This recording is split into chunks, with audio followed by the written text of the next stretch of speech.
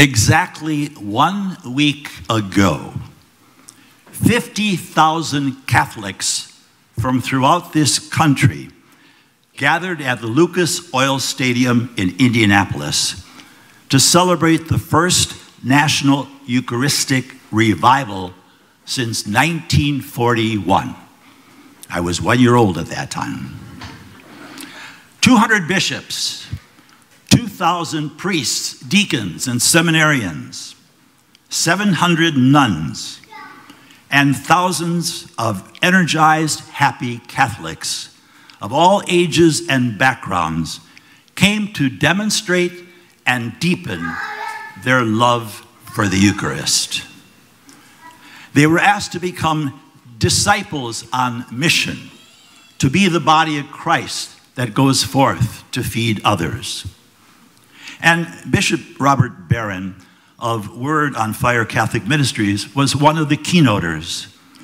And he challenged his live audience and the rest of us, 70 million Catholics in the United States, to live our faith more radically, to become what we eat in the Eucharist, the body of Christ given for others, the blood of Christ poured out on their behalf, and to become the people we were meant to be.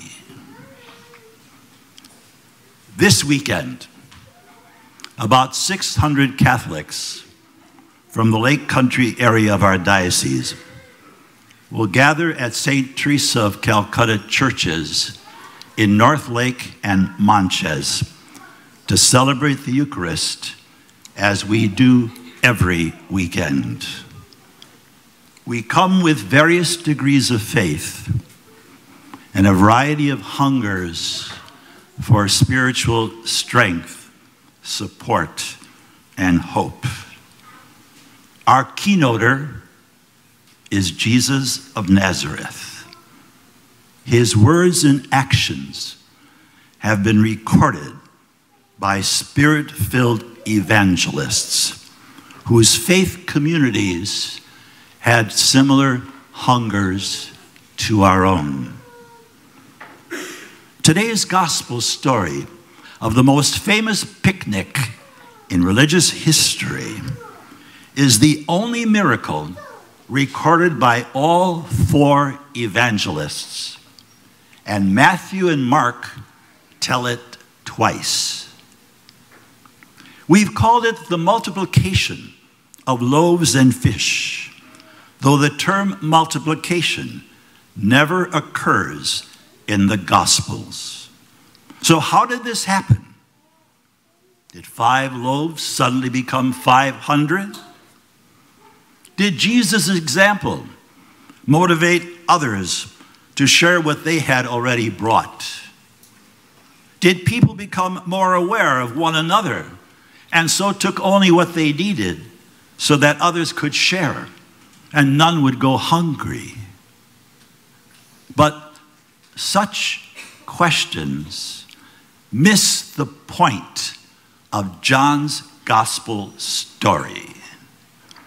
This was a preview of the Last Supper event when Jesus took bread, gave thanks, and gave it to his disciples, saying, Take and eat. This is my body. Take and drink. This is my blood of the new covenant, which will be shed for many. But the Gospels were not written simply to give us a glimpse of Eucharistic history. They were written to urge us also to become disciples on mission who imitate the Lord's compassion to others. And that's why huge crowds followed him, because they found in Jesus what they did not find in their own synagogue or temple. And today, the corporal works of mercy remind us that Christ is still hungry, thirsty, homeless, naked, ill, and imprisoned, and asks us to see him in his beloved poor. For some of us, the enormity of that need can be frightening or discouraging. We might even feel like Elisha's servant in our first reading, objecting to what only 20 barley loaves could do for 100 people. Or like Andrew in today's gospel, dismissive of the kid who had only five loaves and a couple fish for thousands. Do we ever wonder whether the food items we bring to the food pantry or the school supplies we contribute for needy children or the yellow envelope collection of this month, which provides meals at the cathedral's open door cafe, or the support that sent our work campers to Mexico, Missouri, not Mexico, Missouri. And they came back safely last evening during our Mass. It was wonderful. Or the couple hours that we volunteer each week. Do we ever wonder whether that makes any difference? Today's gospel urges us to trust that when we offer whatever we have, whoever we are, and place ourselves in God's hands, it is enough. It makes a difference.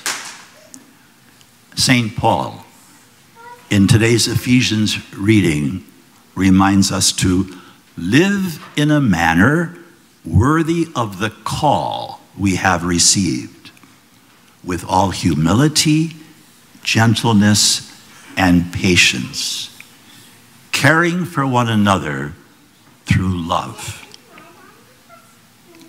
Today, the Lord again accepts what little we think we have to share and blesses us and sends us forth to be the Eucharist, the body of Christ that we receive, to be shared with a hungry world. And as a result of our efforts to be the people we were meant to be, as Bishop Barron put it, there will be an abundance of leftovers, including the promise of eternal life. God bless you.